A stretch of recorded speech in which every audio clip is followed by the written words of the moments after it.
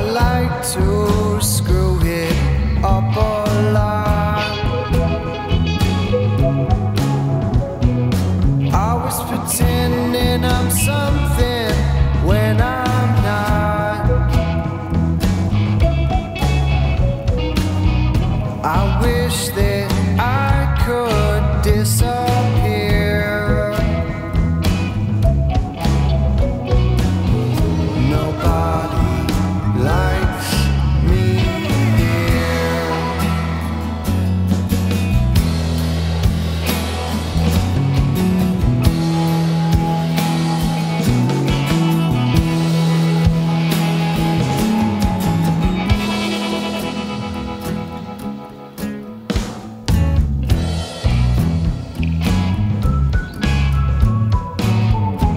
I get the words twisted up in my